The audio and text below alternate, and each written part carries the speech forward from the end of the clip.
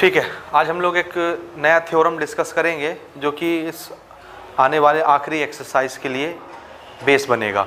ठीक है that is our exercise number five of this chapter similarities in geometrical shapes ठीक है, दो तीन थ्योरम आज हम लोग डिस्कस करेंगे। इसमें सबसे पहला थ्योरम है, यहाँ से हमारे पैथागोरस थ्योरम की शुरुआत हो रही है। You know what is the Pythagoras theorem class nine से इवन क्लास एट से भी आप लोग पैथागोरस थ्योरम पढ़ते चले आ रहे हैं। ठीक है ना? पैथागोरस थ्योरम हमेशा एक राइट एंगल ट्राइंगल पर अप्लाई होती है, जिसमें ट्राइंगल की सबसे बड़ी साइड का स्क्वायर बाकी के दो बचे हुए साइड के स्क्वायर के सम के बराबर होती है। ठीक है? दिस इज़ पैथागोरस थ्योरम इस पर हम अभी आते हैं, लेकिन उससे पहले पैथागोरस थ्योरम से भी एक स्टेप पहले इस थ्योरम को आपको सीखना है। इसके बाद हम लोग फिर पैथागोरस पर आते हैं, उसको प्रूव करेंगे। यूज़ तो आप लोग नाइन्थ में भी कर चुके हैं एट्थ में भी कर चुके हैं। उसको प्रूफ हम लोग टेंथ में करेंगे। ठीक है? तो सबसे पहले हम लोग बात करेंगे थ्योरम नंबर एट की। ठीक है? देखिए suppose we have a right angle triangle कौन सा ट्राइंगल एक राइट एंगल ट्राइंगल ध्यान से समझते चलिएगा वन बाय वन तो आपको चीज़ें समझ में आएँगी, नहीं तो फिर नहीं आएँगी। ठीक है? Suppose this is a right angle triangle A B A B C is a right angle triangle it is right angle at B B पर यह राइट एंगल बनता है। ठीक है? यहाँ तक समझ आया? अब थोड़ा सा थ्योरम हम लोग डिस्कस करते हैं। जैसा बुक में कोट किया है, मैं बिल्कुल उसी तरह कोट कर रहा हूँ बुक से उठा के। ठीक है? If a perpendicular is drawn what is the meaning of perpendicular a line which makes 90 degree on any surface. Surface पर जो 90 डिग्री बना दें, उसको हम लोग परपेंडिकुलर बोलते हैं। If a perpendicular is drawn on the hypotenuse who is hypotenuse side opposite to the 90 degree is hypotenuse hypotenuse so in this figure who is hypotenuse A C ठीक है? इस हाइपोटेनियस पर एक परपेंडिकुलर खींचना है। किस पर खींचना है? यानी वो लाइन आएगी और हाइपोटेनियस पर गिरेगी। तो हाइपोटेनियस पर कितना एंगल बनाएगी? लाइन 90 डिग्री ठीक है? हाइपोटेनियस पर परपेंडिकुलर खींचना है। If a perpendicular is drawn on hypotenuse from the vertex of right angle which is the vertex of right angle there is three vertex vertex A vertex B vertex C who is right angle vertex angle B so we draw we have to draw a perpendicular from that vertex at where 90 degree is made or the angle of the vertex is 90 degree. From there, we have to draw a perpendicular on hypotenuse. ऐसा vertex जिस पर angle कितना हो? 90 degree वहाँ से एक perpendicular draw करना है किस पर? हाइपोटेनियस पर. ठीक है? तो हमने एक परपेंडिकुलर ड्रॉ किया सपोज़ ऐसा. दिख रहा है ना? सपोज़ ये यहाँ पर जा करके 90 डिग्री हो जाती है, ऐसे. ये ऐसे. ठीक है? समझ आया? नहीं आया। कहाँ से परपेंडिकुलर खींचना है? तीन वर्टेक्स हैं। तीनों में से कौन से वर्टेक्स है? जहाँ 90 डिग्री बन रहा है। तो 90 डिग्री वाले वर्टेक्स से एक परपेंडिकुलर ड्रॉ कर दीजिए। अब आपको ये फिगर ऐसे बनाना है, ऐसे बनाइए, घुमा के बनाना है, घुमा के बनाइए। जैसे बनाना है, वैसे बनाइए। तुम्हारे बुक में थोड़ा सा घुमा के बनाया है। देख लीजिए बुक तो समझ में आए। ठीक है? हमने ऐसे बना लिया। कोई फ़र्क पड़ता है क्या? हमको तो कॉन्सेप्ट से लेना देना है। ठीक है ना? तो हमने ये एक परपेंडिकुलर ड्रॉ किया जो कि हाइपोटेनियस पर गिरता है डी पॉइंट पर और यहाँ पर 90 डिग्री बनाता है। So we will call it perpendicular what is the name of perpendicular B D okay हा now if we do so then triangles on both side of the perpendicular this is the perpendicular this is the perpendicular on either side of this perpendicular there are two triangles. This is the one triangle, this is the second triangle. इस perpendicular के इस पार और इस पार, दो triangle बन गए perpendicular खींचने से। पहले तो एक ही ट्राइंगल था ना ए बी सी जैसे ही परपेंडिकुलर ड्रॉ किया हाइपोटेनियस पर तो इसने दो ट्राइंगल बांट दिए इसमें, दो ट्राइंगल बना दिए। एक ट्राइंगल का नाम देखो ए डी बी दिखा? दिखा? दूसरा ट्राइंगल बी डी सी दिख गया? दो ट्राइंगल हो गए। Triangle number one triangle number two A D B और बी डी सी देखे दोनों के नाम समझ में आए। Triangle on both side of the perpendicular are similar similar to what the original triangle which is the original triangle A B C तो question ये बोलता है थ्योरम ये बोलता है कि अगर एक राइट एंगल ट्राइंगल हो, उसमें वो वाला वर्टेक्स जिसमें 90 डिग्री बनता हो वहाँ से अगर एक परपेंडिकुलर हाइपोटेनियस पर गिराया जाए तो हाइपोटेनियस पर जब परपेंडिकुलर ड्रॉ होगा तो परपेंडिकुलर के दोनों तरफ़ जो दो छोटे छोटे ट्राइंगल बन जाएँगे, ये वाला ट्राइंगल ओरिजिनल ट्राइंगल से सिमिलर हो जाएगा। कौन सा? ए डी बी इसी तरह से जो दूसरा ट्राइंगल बना बी डी सी ये भी ओरिजिनल ट्राइंगल ए बी के सिमिलर हो जाएगा। समझ आया? कि नहीं आया? सिमिलर हो जाता है। थ्योरम ये बोलता है? And and and and as well as similar to each other और ये दोनों छोटे छोटे ट्राइंगल बड़े ट्राइंगल से सिमिलर तो होते ही हैं, साथ में आपस में भी सिमिलर हो जाते हैं। ये तो बिल्कुल वही बात हो गई ना, ये वैल्यू इसके बराबर, वो वैल्यू इसके बराबर तो ये दोनों वैल्यू आपस में भी बराबर। समझ आया? ये छोटा ट्राइंगल बड़े ट्राइंगल से सिमिलर ये छोटा ट्राइंगल बड़े ट्राइंगल के सिमिलर तो ये दोनों छोटे छोटे ट्राइंगल आपस में भी सिमिलर समझ आ रहा है? ये है हमारा थ्योरम और इसका कंक्लूजन मीनिंग समझ आया आपको थ्योरम का? कि नहीं आया? थ्योरम ये बोलता है कि अगर मेरे पास एक राइट एंगल ट्राइंगल हो, बड़ा वाला गिवन राइट एंगल ट्राइंगल उसके 90 डिग्री वाले वर्टेक्स से हम एक परपेंडिकुलर ड्रॉ करें किस पर? किस पर? हाइपोटेनियस पर. तो परपेंडिकुलर के दोनों तरफ़ दो छोटे छोटे ट्राइंगल बनते हैं।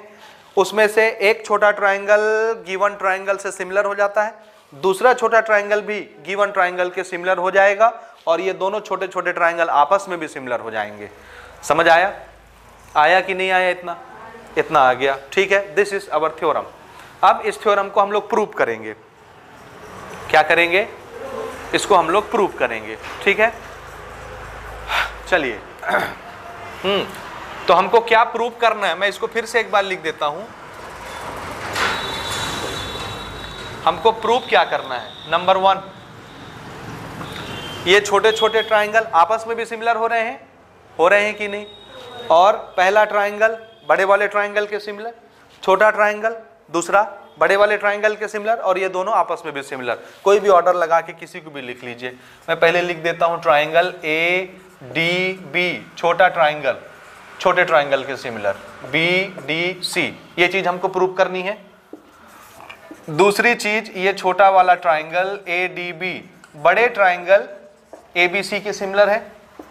तीसरी चीज़, ये छोटा वाला ट्राइंगल बी डी सी बड़े ट्राइंगल ए बी सी से सिमिलर है। ये समझ आया? ये तीन चीज़ें हमको प्रूव करनी है। ऐसा होता है। थ्योरम बोलता है कि ऐसा होता है। तो चलो प्रूव करके देखते हैं, होता है कि नहीं। समझ आया? समझ आया? क्या क्या हमको सिमिलर प्रूव करना है? इसके अलावा, ये तो एक छोटी सी बात आपके लेवल के हिसाब से उन्होंने कर दी। ठीक है ना? बुक वालों ने आपके लेवल के हिसाब से छोटी सी बात कर दी। और इसमें एक स्टेटमेंट और आगे होता था। बहुत पहले जो बुक चलती थी, ठीक है ना? आप लोग नहीं जानेंगे, अभी बुक चेंज हुई है ना दो तीन साल पहले से। उसके पहले जो बुक चलती थी हमारे टाइम पे तो हम लोग जब इस थ्योरम को पढ़ा करते थे तो इसमें एक स्टेटमेंट और आगे होता था। वो मैं बाद में बताऊँगा। ठीक है? जितना अभी इन्होंने कहा है, वो पहले हम प्रूव कर लें। उसके बाद फिर मैं अगली चीज़ बताऊँगा जो इसी का आउटकम होगा, इसी का रिज़ल्ट होगा, जो कि हो सकता है हमको कहीं आगे पड़े ज़रूरत, या यहाँ ज़रूरत नहीं पड़ेगी तो आपके लाइफ में कहीं ना कहीं ज़रूरत पड़ेगी ना। ठीक है? तो इसको हम लोग डिस्कस करते हैं वन बाई वन यहाँ तक समझ आया? आया ना? अब थोड़ी सी ज्योमेट्री देखिएगा ना। स्टार्ट करते हैं प्रूव करना, थोड़ी सी ज्योमेट्री देखिएगा। सबसे पहले, बड़ा वाला ट्राइंगल देखिए ए बी सी देखा? ट्राइंगल ए बी सी इस अवर गिवन ट्राइंगल इसको आप गिवन ट्राइंगल बना के भी नोट कर सकते हो ना? What is given triangle A B C 90 degree at angle B this is our initial condition ये 90 डिग्री बी पर बनता है, ये हमारा गिवन ट्राइंगल है ए बी सी हो गया भाई? यहाँ तक? थोड़ी सी ज्योमेट्री देखिए और इसको समझिए ना, ध्यान से देखिए। मैंने जो दो ट्राइंगल आपको दिखाए हैं, पहला हमारा टारगेट है, इन्हीं को सिमिलर बनाना। हमने सिमिलैरिटी के टॉपिक में शुरू में ही डिस्कस कर लिया था कि हमारे पास कुछ क्राइटेरिया हैं। अगर वो क्राइटेरिया हम फुलफिल कर दें तो दोनों फिगर क्या हो जाएँगे? सबसे मोस्ट फेवरेट हमारा कौन सा क्राइटेरिया है? डबल ए डबल ए भी आ गया तो दोनों ट्राइंगल क्या हो जाएँगे? सिमिलर या side angle side triple A समझ रहे हैं? कोई भी आ जाएगा तो हम इससे सिमिलरिटी बना लेंगे। यहाँ तक मेरी बात समझ गए आप? ठीक अब देखिएगा ना। आ, ये पहला ट्राइंगल ये दूसरा ट्राइंगल पहले ट्राइंगल का नाम ए डी बी दिखा? दूसरे ट्राइंगल का नाम बी डी सी दिख गया? दो ट्राइंगल पहले ट्राइंगल में 90 डिग्री बनता है डी पर। ए डी बी ये angle D angle A D B ninety degree है। दूसरे ट्राइंगल में एंगल बी डी सी ये एंगल भी कितना है? क्योंकि क्वेश्चन ही बोल रहा था ना कि परपेंडिकुलर ड्रॉ करो तो ये एंगल 90 ये एंगल 90 होंगे? तो दोनों ट्राइंगल में एक एक एंगल सिमिलर है 90 90 के। एक और एंगल हम खोज लाएँ तो दोनों ट्राइंगल क्या हो जाएँगे? सिमिलर हो जाएँगे? यहाँ तक समझ आया? हाँ डबल एक क्राइटेरिया लग जाएगा ना। एक एक एंगल तो पहले से सिमिलर है दोनों ट्राइंगल के। एक एंगल हम भी जुगाड़ लगा के सिमिलर बना दें तो डबल ए डबल ए लग जाएगा, और दोनों ट्राइंगल क्या हो जाएँगे? सिमिलर और प्रूफ हो जाएगा पहला। समझ आया? देखिएगा ना। ध्यान से सुनिए। ए बी सी ये एंगल कितने का? 90 का। तो ये 90 दो एंगल से बना है। पहला एंगल ए बी डी ये छोटा।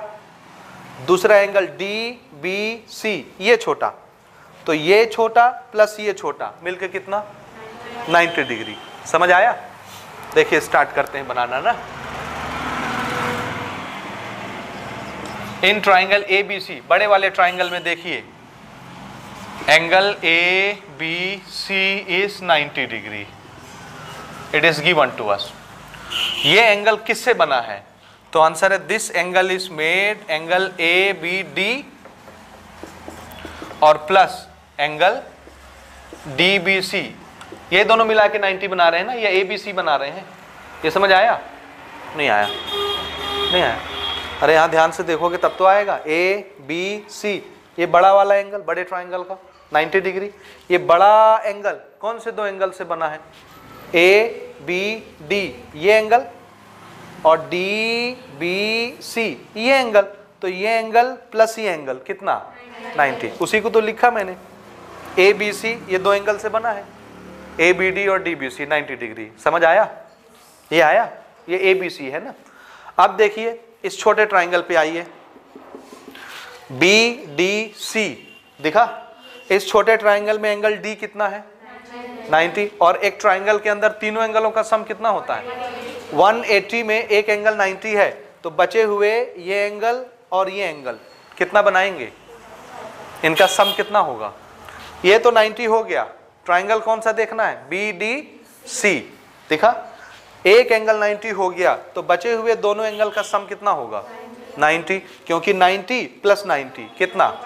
एक तो 90 है पहले से, उसको हम नहीं हटा सकते। तो बाकी जो बचेंगे, उनका सम भी कितना आएगा? 90 तभी तो 90 90 180 होगा। आ रहा है समझ में? दूसरा ट्राइंगल देखिए बी डी सी ठीक है? One angle is angle B D C is 90 ये भी गिवन ही मान के चलो, क्योंकि परपेंडिकुलर खींचने से वो 90 बना था। ठीक है? इधर मन लगा के ध्यान से समझो इसके प्रूफ को। ठीक है? इधर उधर ध्यान नहीं भटकाइए। हो गया एक एंगल 90 तो बाकी के बचे हुए दो एंगलों का सम कितना होगा? समझ आ रहा है ना? ये 90 होगा, दोनों का सम क्योंकि तीनों मिला के कितने होने हैं? 180 तो कौन से दो बचे? बोलिए नाम। एंगल डी बी सी यानी एंगल बी और एक एंगल सी सी का नाम सी ही रखते हैं। इन दोनों को मिला के भी कितना होना है? 90 होना है। समझ आया? अब देखो ना this is equation number one this is equation number two ये हुआ? ये दोनों मिला के भी 90 ये दोनों मिला के भी 90 तो ये भी 90 के बराबर, ये भी 90 के बराबर तो ये दोनों आपस में भी बराबर। From one and two angle A B D plus angle D B C is equal to किसके बराबर? प्लस एंगल सी के बराबर। होगा ये कि नहीं होगा? होगा ना? दोनों तरफ़ डी बी सी है, काट दिए तो ए बी डी किसके बराबर आ गया? Angle C very good target देखिएगा टारगेट के नज़दीक पहुँच रहे हैं ना? ए बी डी किसके बराबर? हाँ इसको सुनहरे अक्षरों में लिखिए। ये। एंगल ए बी डी कौन सा एंगल है? ए बी डी ये है ना? ये वाला है? यही है ना? देख लो अच्छे से, ये तीन लाइन खींच दे रहा हूँ। ये एंगल है? एंगल सी कौन है? ये। एंगल ए बी डी कौन से ट्राइंगल का एंगल है? ए डी बी बोलो। कौन से ट्राइंगल का एंगल है? एंगल बी एंगल सी कौन से ट्राइंगल का एंगल है? बी डी सी अभी अभी ये एंगल बी और ये एंगल सी क्या हुए हैं? और एक एंगल 90 एक एंगल 90 पहले से था दोनों ट्राइंगल में। दोनों ट्राइंगल क्या हो गए? कौन सा कंग्रेंसी कौन सा सिमिलैरिटी लगा? डबल ए आया समझ? कि नहीं आया? आ गया ना they are four B and triangle B, D, C. एक एंगल हमको पहले से मालूम था 90 90 का था। कौन सा था 90 का? एंगल डी ना? A, D, B. और इसका? B, D, C. Ninety degree each. ठीक है? और एक एंगल अभी अभी हमने बराबर बनाया। इसका एंगल बी और इस ट्राइंगल का angle C from equation number three ठीक है?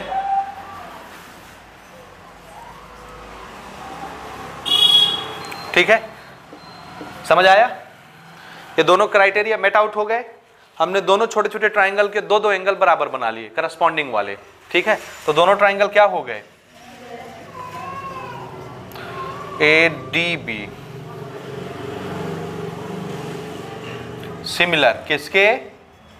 बी डी सी के। ये हो गया सिमिलर। कौन सा क्राइटेरिया? ये। और मेरा ख्याल है पहली चीज़ प्रूव हो गई। हुआ? समझ आया? कि नहीं आया? सही सही बताओ। समझ आया कि नहीं आया? आया समझ में ये? पहला चीज़ प्रूव हो गया ना। This is our first prove statement ये हो गया। ठीक है? अच्छा आप थोड़ा सा, मैं आपको और एक चीज़ दिखाना चाहता हूँ। देखिएगा ध्यान से ना। ये दो ट्राइंगल बने। एंगल सी का करस्पॉन्डिंग एंगल कौन है? देखो, दो triangle B D C A D B मैं बी डी सी क्यों बोल रहा हूँ? क्योंकि डी पर 90 डिग्री बन रहा है। इसलिए इसको भी मैं ए डी बी बोलता हूँ। बीच वाला 90 degree 90 degree A D B D पे 90 तो बी डी सी डी पे 90 नाम समझ आ रहा है? लेने का कैसे लेते हैं? ठीक है, दोनों ट्राइंगल सिमिलर हो गए। हो गए ना? ठीक है। एंगल सी कौन से ट्राइंगल का है? बी डी सी इस एंगल सी का करस्पॉन्डिंग एंगल इस ट्राइंगल में कौन है? एडीबी में। है? कौन है? अच्छा सुनिए। जब दो ट्राइंगल सेम होते हैं सिमिलर हो जाते हैं, कौन? दो ट्राइंगल सिमिलर हो जाते हैं तो उनके करस्पॉन्डिंग एंगल का क्या होता है? करस्पॉन्डिंग एंगल्स बराबर हो करस्पॉन्डिंग एंगल्स बराबर होते हैं ना? ये दोनों अलग अलग ट्राइंगल के एंगल हैं ए बी डी का और बी डी सी का। और ये दोनों के बीच में क्या है? तो दोनों ट्राइंगल तो सिमिलर हुए हैं तो सिमिलर में कौन से एंगल आपस में बराबर होते हैं? तो ये दोनों एंगल क्या होंगे आपस में? करस्पॉन्डिंग ही बराबर होते हैं आपस में। अगर सिमिलर है फिगर तो। आया? नहीं आया? तो एंगल सी का करस्पॉन्डिंग एंगल कौन? ए की बी एंगल बी आया कुछ भेजे में? नहीं आया। हम थ्योरम से ही बात कर रहे हैं ना। जब दो ट्राइंगल सिमिलर होते हैं तो उनके करस्पॉन्डिंग एंगल बराबर हो जाते हैं। तो बर, एंगल बराबर कौन से होते हैं? करस्पॉन्डिंग वाले। ये देखो दोनों ट्राइंगल सिमिलर हो गए तो ये जो एंगल बराबर होंगे आपस में ये आपस में क्या कहलाएँगे?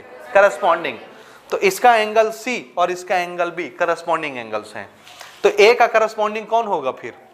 ये वाला बी ये छोटा बी किसका करस्पॉन्डिंग है? ए का और ये छोटे बी का करस्पॉन्डिंग कौन? ये सी आया? नहीं आया? जल्दी बोलो। आ गया ना? अच्छा। ठीक है। चलो, यहाँ तक तो आपको समझ आ गया। अब समझ आ गया तो मुझे यहीं पे बता दो। अगर मैं आपसे बोलूँ, ध्यान से सुनिए।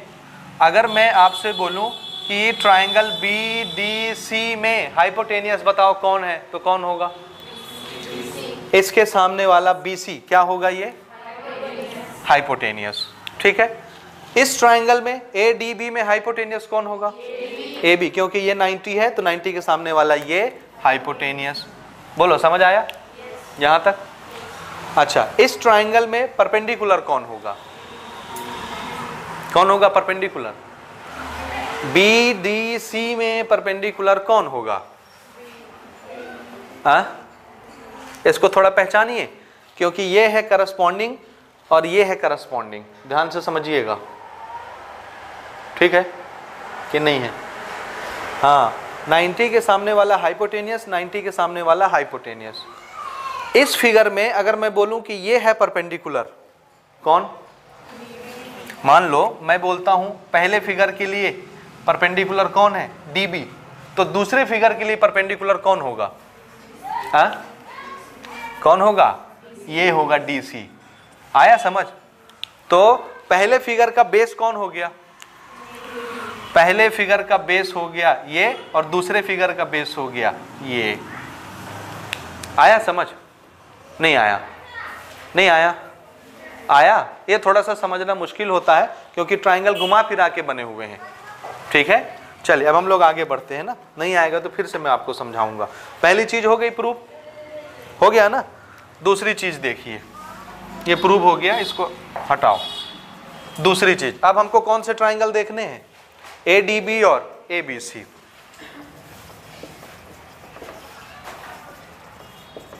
बड़ा ट्राइंगल ए बी सी देखो तो A D B A D B A D B दिखा? और दूसरा ट्राइंगल कौन सा है? ए बी सी दिखा?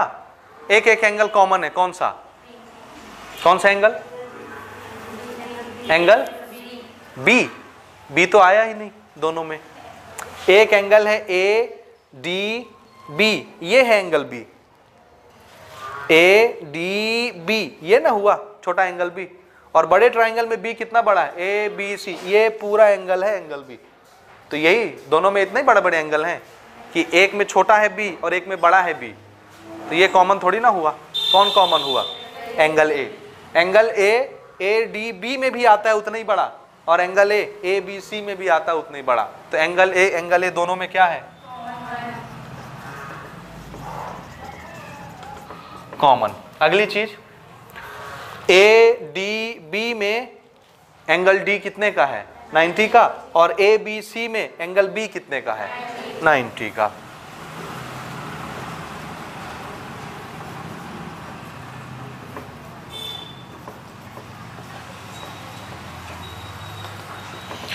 दोनों सिमिलैरिटी मिली एंगल एंगल की? इसलिए दोनों ट्राइंगल क्या हो गए? Similar triangle A D B similar to triangle A B C by which criteria angle angle criteria लिख लीजिएगा। दूसरी चीज़ भी हो गई। हो गई ना? तीसरी चीज़ समझिए। आप कौन सा ट्राइंगल देखना है? B D C A B C in triangle B D C and triangle A B C. देखो तो B D C, A B C. कोई कॉमन दिखा? कौन सा? एंगल सी दिख रहा है ना? दिख रहा है? बी डी सी में भी सी है, ए बी सी में भी सी है। और कुछ? ये कॉमन हो गया।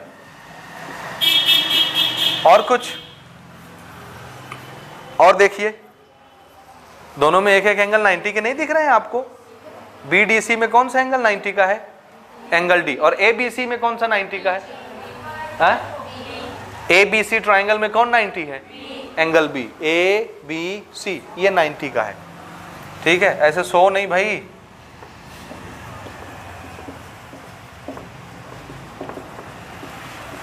ईच 90 डिग्री दोनों एंगल 90 डिग्री के हो गए। दो एंगल की क्राइटेरिया मिली? इसलिए दोनों ट्राइंगल क्या हो गए?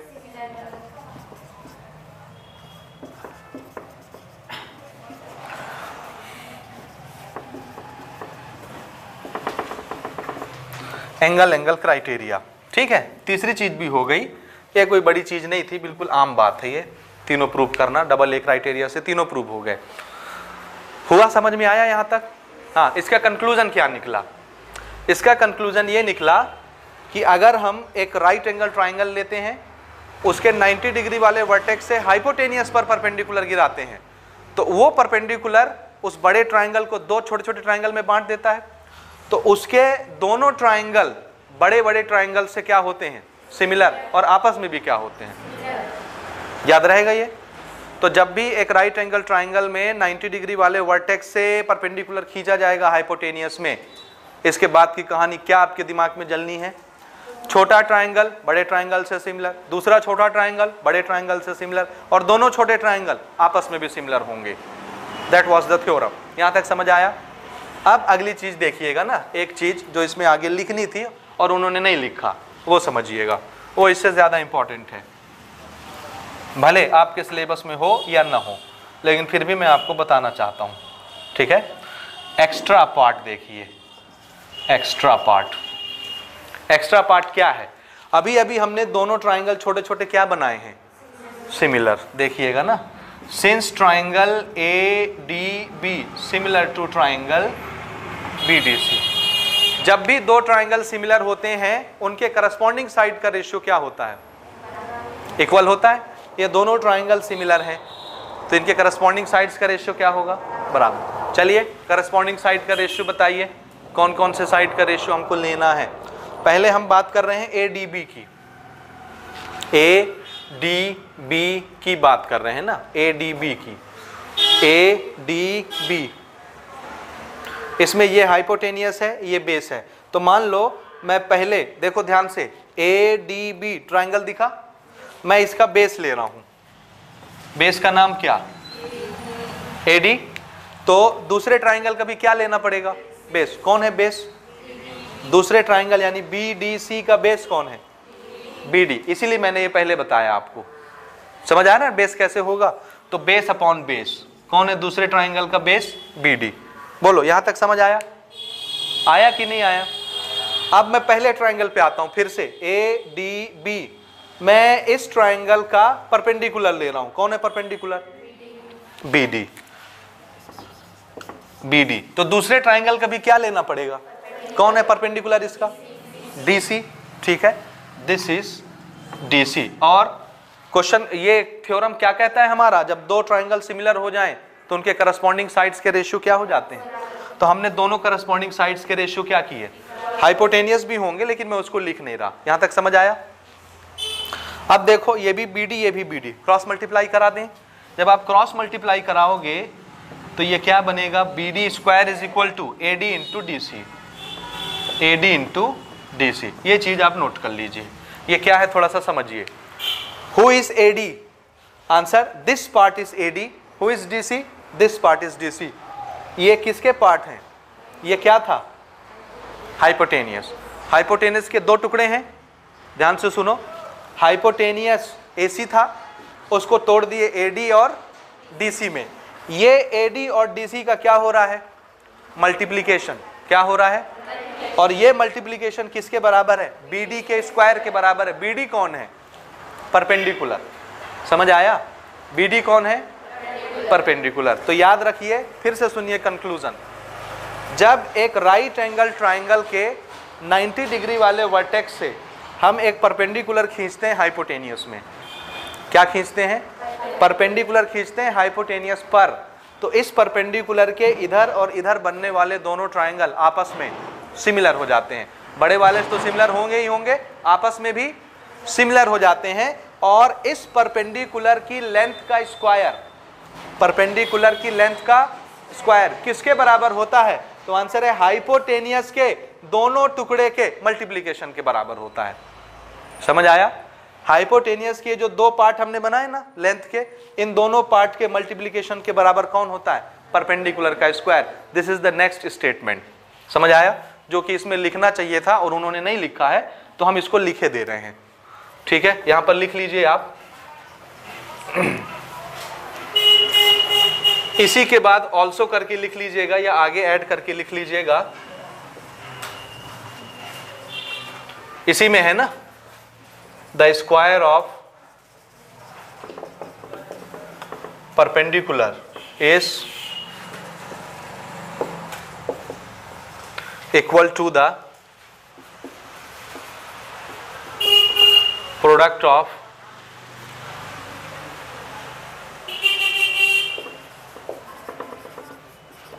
of the length of two parts of hypotenuse. The square of perpendicular is equal to the product of the length of two part of hypotenuse. समझ में आ रहा है कुछ सेंटेंस कि नहीं आ रहा है? यूजुअल मीनिंग समझ आ रहा है क्या है? हाँ ये एक एक्स्ट्रा पार्ट इसमें और होता है तो ये भी आप याद रखेंगे। ये रिज़ल्ट याद रखना है। परपेंडिकुलर का स्क्वायर किसके बराबर होता है? हाइपोटेनियस के दोनों टुकड़े के मल्टीप्लीकेशन के बराबर होता है। याद रहेगा ये? हो सकता है आगे हम यूज़ कर लें। ठीक है? ये नोट कर लें आप।